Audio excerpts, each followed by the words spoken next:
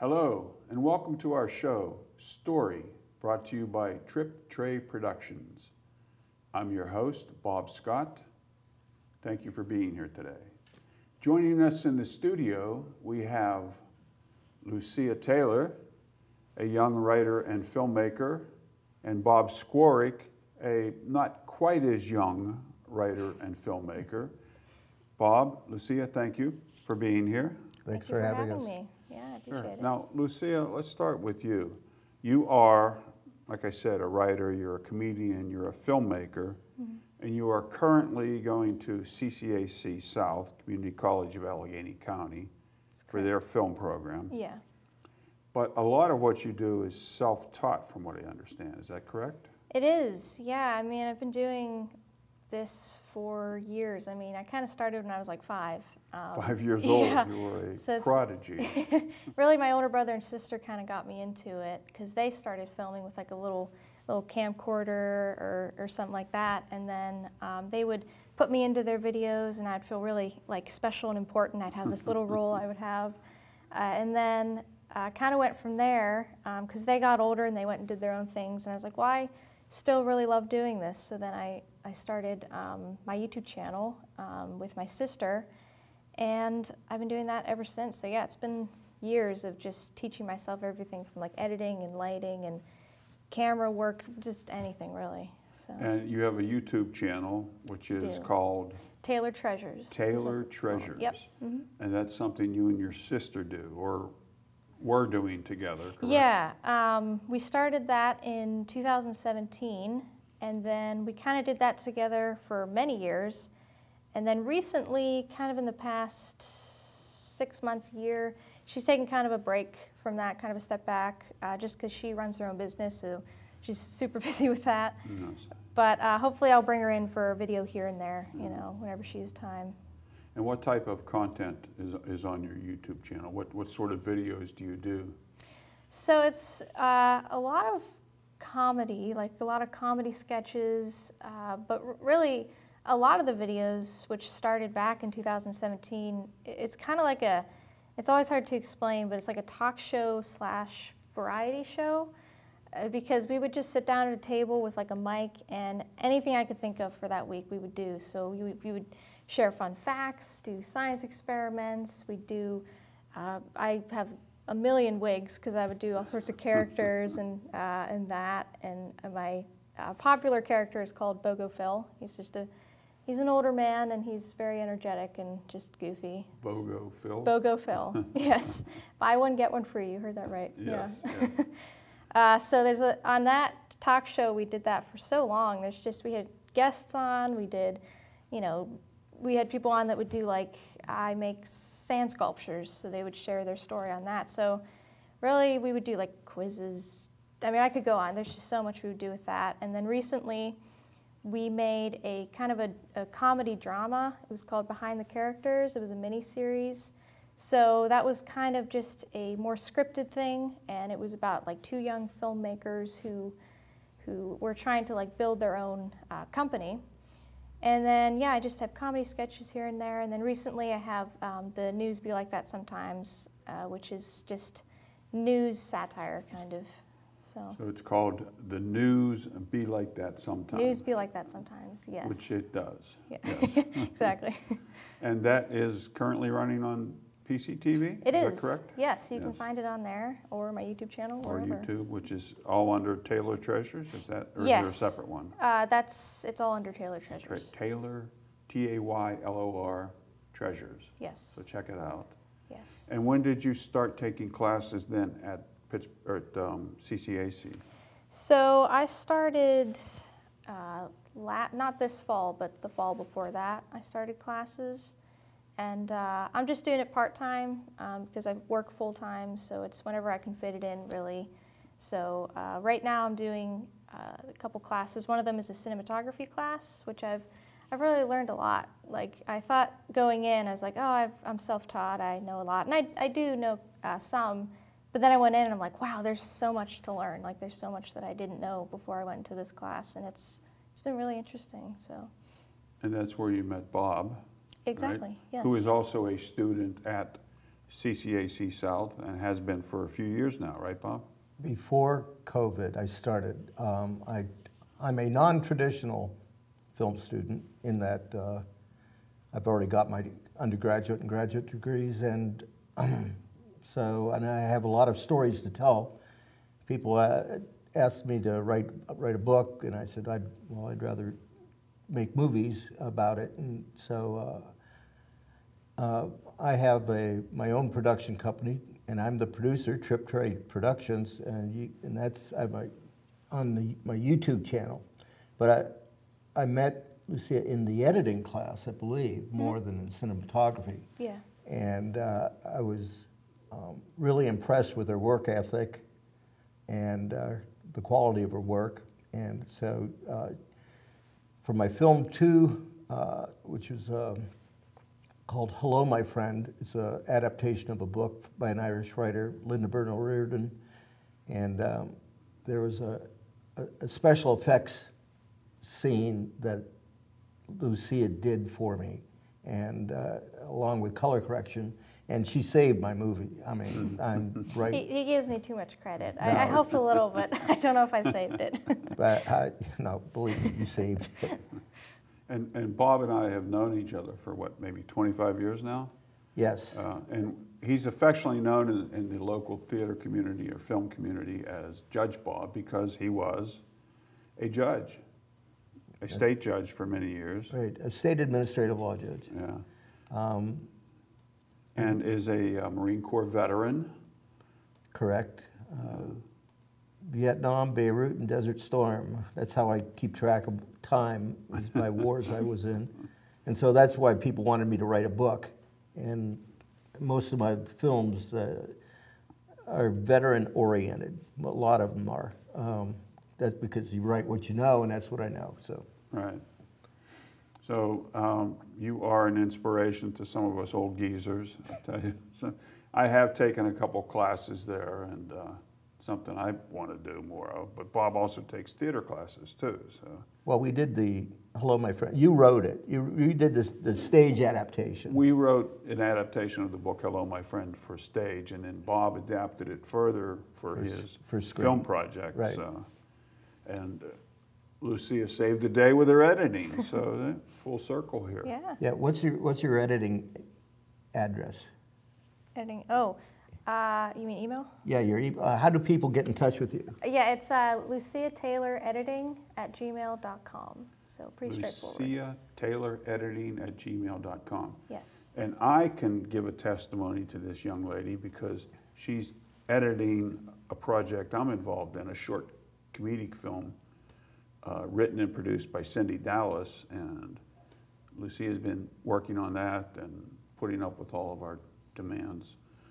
but she does a great job. She really does. No, but I, it was really well done. I really liked it. When I was editing it, it was pretty funny. it's a lot of fun. Yeah. So. Um, now, you mentioned um, your sister's business and work you're doing, which is with pets. Now, that's another love of yours, right? Animals? Yes, definitely. I love them. Um, I do so my job title is pretty much senior pet care specialist, and I work for my sister's business, as he said. It's called Captain Flossie Dogs Pet Service. Captain. So, Captain Flossie Dogs. Flossie Dogs Pet yeah, Service. the name. I love that. Yeah, people always ask what it's from, and uh, the word Flossie. She took the first letter of all of our pets growing up and kind of put them together and tried to make a word, and she got Flossie out of it.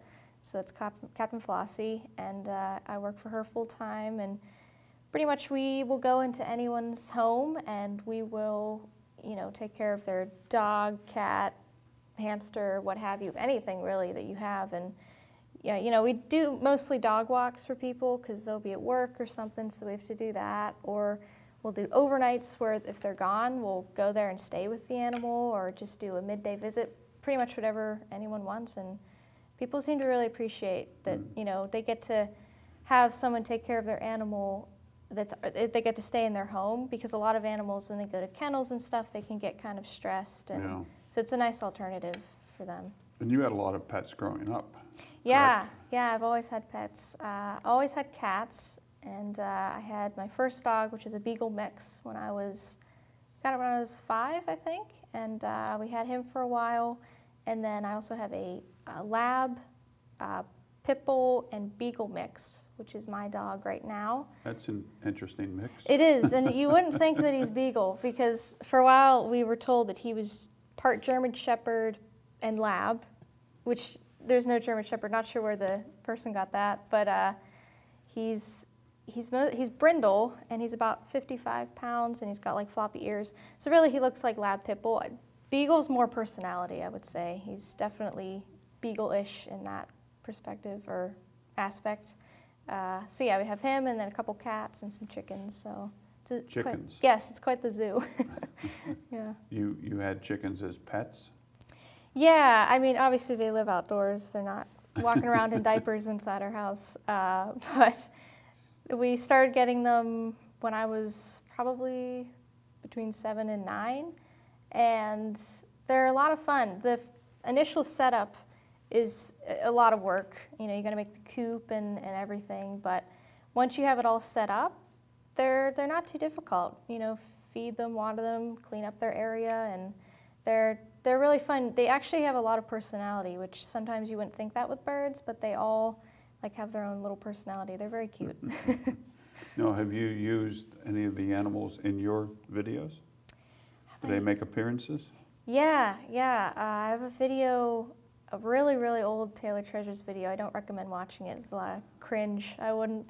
But uh, there's one part where I take this cat that I have, and I, I say Laura turned into a cat. Um, and I know there are probably other videos where I've had animals animals in them, but I can't really think of them right now. But yeah, Well, there's the one clip where, uh, from News Be Like That, with the Chinese zoo, Mm-hmm. where the, they think that the, it's a, uh, their bear is actually a person standing on its legs, and then your sister comes in as the bear.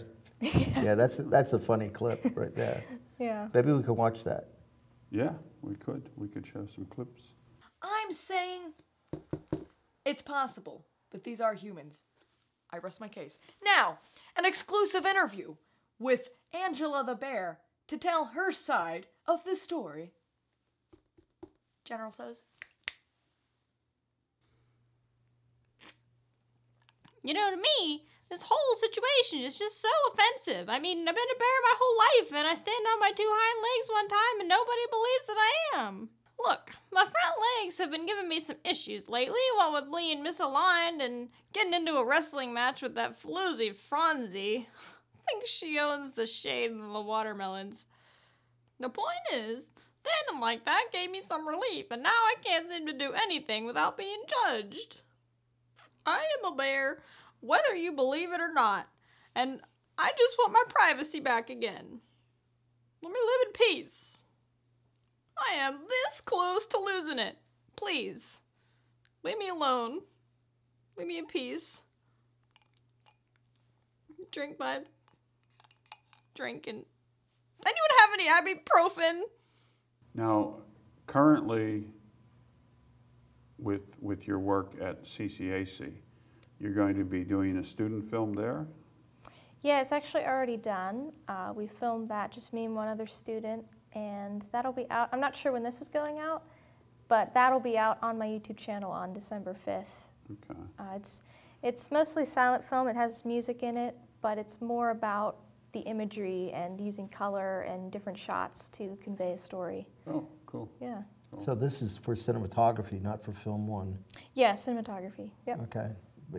You're gonna, you will be taking film one and a longer, how long is your, is uh, your cinematography film?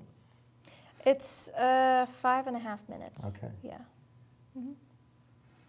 Now, you, of course, your background is in comedy. You do it writing, you know, doing comedy shows, comedy sketches, uh, satiric news show, but Right. have you done or do you want to do anything more dramatic? Yeah, it's a good question. I have done, I've dabbled in a little bit of drama with that Behind the Characters series. That's mostly comedy, but I do do some uh, dramatic acting in that, and I do enjoy it. Uh, I think I just always gravitate towards comedy because I love to watch comedy. Like that's my favorite genre to go and watch. I love to laugh, and so uh, I love being goofy and making people laugh. So I think it's what I feel most comfortable in. But I definitely, you know, want to experiment more in in the drama side of things. I think that'd be a lot of fun. No. Yeah. And do you act also? Not in a professional capacity, no, just just with my YouTube channel pretty much. Yeah. Which I think that would be fun too. I, I kind of have to get out of my comfort zone for, for that to act. I've done a lot of acting, but usually it's by myself or with some friends and family. So to do it in front of a live crew or you know audience, that I have to build up some courage to do that for sure. Well, we do need to challenge ourselves and stretch ourselves. We do. You know, as, as artists, whether we're writers, filmmakers, actors, Right. all of the above.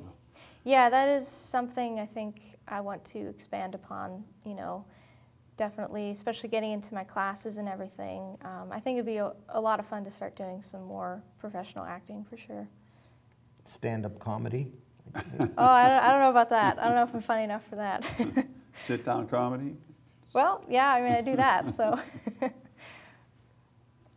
And what do you have coming, coming up next year, Robert? Uh, it- Well, uh, right now I'm taking uh, Film 150, which is uh, scenic design um, for, for film. Uh, We're painting, learning, you know, painting backgrounds and things like that.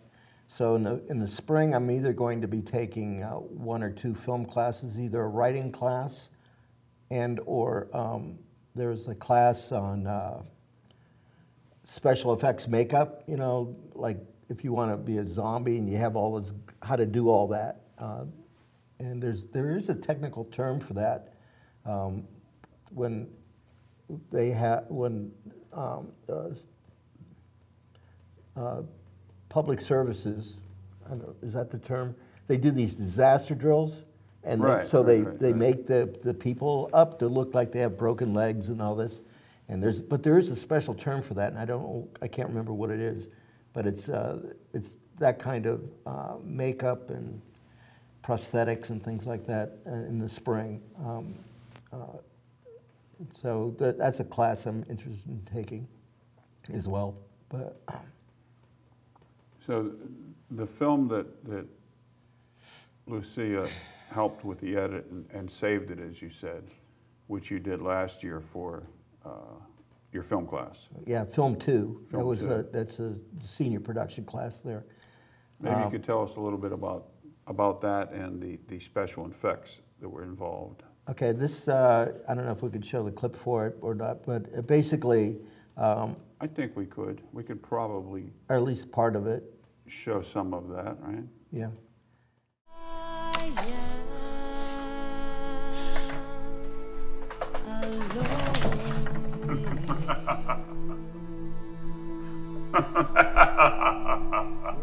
running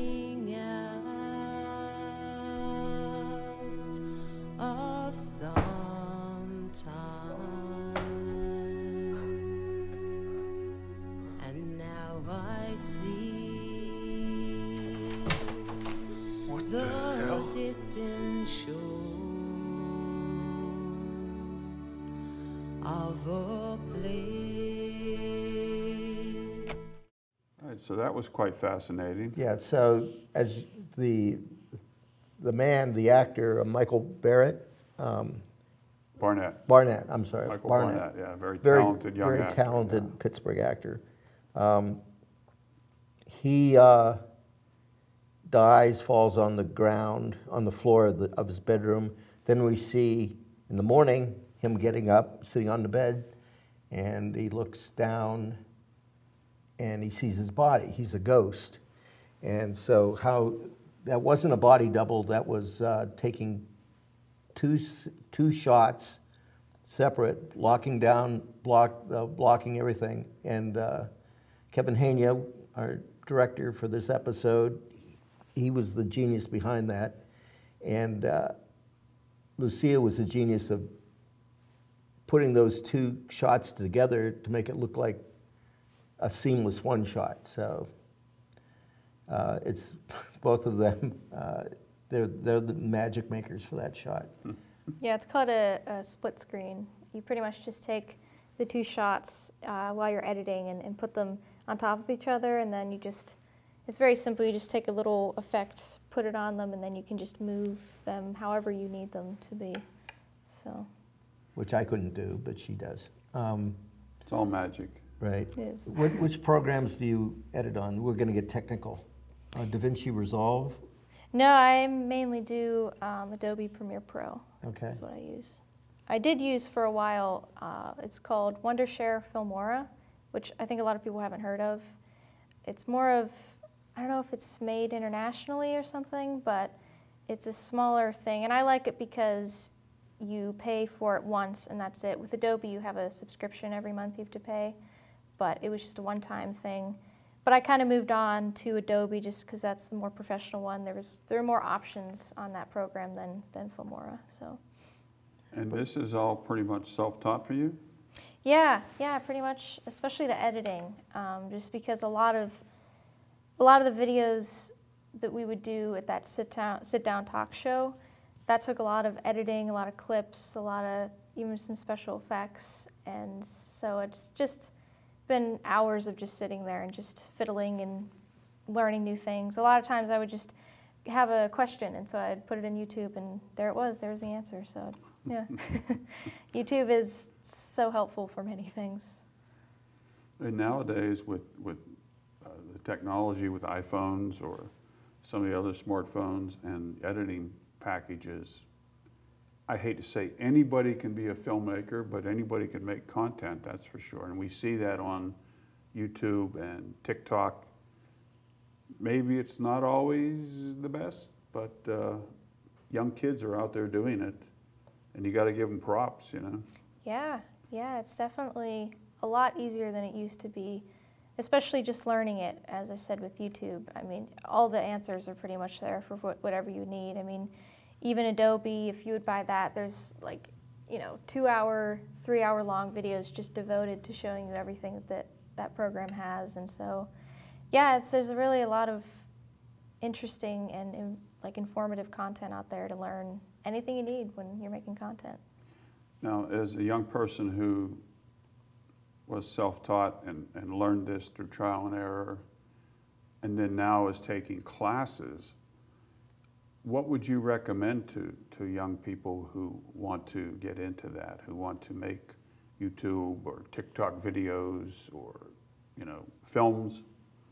Um, does it really help to then take classes and learn it a little more professionally? Yeah, that's a good question. I mean, it really depends what you're trying to do. If you're, you know, if you are able to be successful on YouTube and maybe you've already been making videos and they're a little more informal or less professional, I, don't know if you would necessarily need the classes for that, just because that's a lot simpler and you can kind of learn that on your own. But if you do want to delve into something more professional, maybe a short film, or you really want to do things in, the, I guess, the correct professional way, or you maybe you want to move into the actual film industry, I definitely think it would be very helpful to take a few classes. Because again, you know, going in, I thought I, I knew a lot just because of the self-taught, you know, aspect. And again, I did, but you know, there were things like, you know, special words for the cameras or different things here, or you know, the way the lighting should be with the three-point lighting, uh, and then the camera.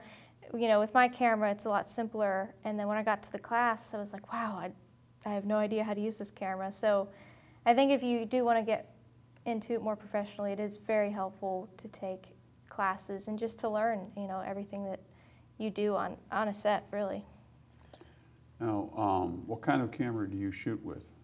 It is. It's a Canon. It's very small, um, and it's called a Canon. It's a Mark One. EOS, EOS. Yeah, yeah, that's that's correct. I can't remember the exact title, but yeah, it's it's a little small thing, but it's. I mean, for what I need, it works really well. You keep it on a tripod, and there's no, you don't have an extra person or. anything. Well, it depends what I'm making. For the news be like that sometimes. I can do that all by myself. Yeah, I'd put it on a tripod in front of the front of the green screen, put the lights up, and that's about it. But for anything else, like maybe a comedy sketch that's in different areas, not in front of a green screen, then I usually uh, have a few people help me with that. He mentioned photography. You've got some experience with photography also? Uh, not, I wouldn't say a lot. I've, I've dabbled in it, but definitely I've focused more on just filming the, The film, content. yeah. yeah. You did, you did do the, the baby robin that fell on your porch. Oh, that's right. Yeah. Back There to was- the animals. Yeah, there's a little baby robin. It was on my porch, and I had a, a longer lens that you'd given me, and so I got a real close-up shot. It was pretty cool. So what's your, your dream project if you could do anything? Oh boy. Uh, Put you on the spot there. no, I think I would really love to do like a classic comedy variety show, kind of like the Carol Burnett show. Ah, Um, I, I really love that. And any kind of, like, I would love to do something that's more kind of like the older sitcoms and variety shows. Uh, I, I love, I Love Lucy, The Dick Van Dyke Show, Andy Griffith Show, any of that stuff. And so, yeah, any kind of scripted sitcom or, or like specifically kind of variety show with all those sketches, I think would be a lot of fun to do. very cool, Yeah. very cool. Hopefully you get to do that. I hope so one day. Yeah. So now where can people find you and your work? Um, YouTube? Yeah, so you can find me on my YouTube channel, which again is Taylor Treasures. You can also find me on Instagram, which is Taylor at Taylor Treasures Official. I'm also on Facebook, which is just under Taylor Treasures. And I also have a TikTok under Taylor Treasures. Haven't posted anything in a while, but if you scroll back, I have a lot of fun videos that I'll like reenact scenes from my favorite movies. It's a lot of fun. And also uh, my Gmail, if you ever need an editing project you need edited or a film project edited, it's Lucia Taylor editing at gmail.com. Well, thank you, Lucia, and thank you, Bob, Yeah. Judge Bob, Okay. for being here today and, and sharing your experiences with us. Of course. And um, thank you, our audience, for joining us. And please tune in again when we come back with another episode of Story.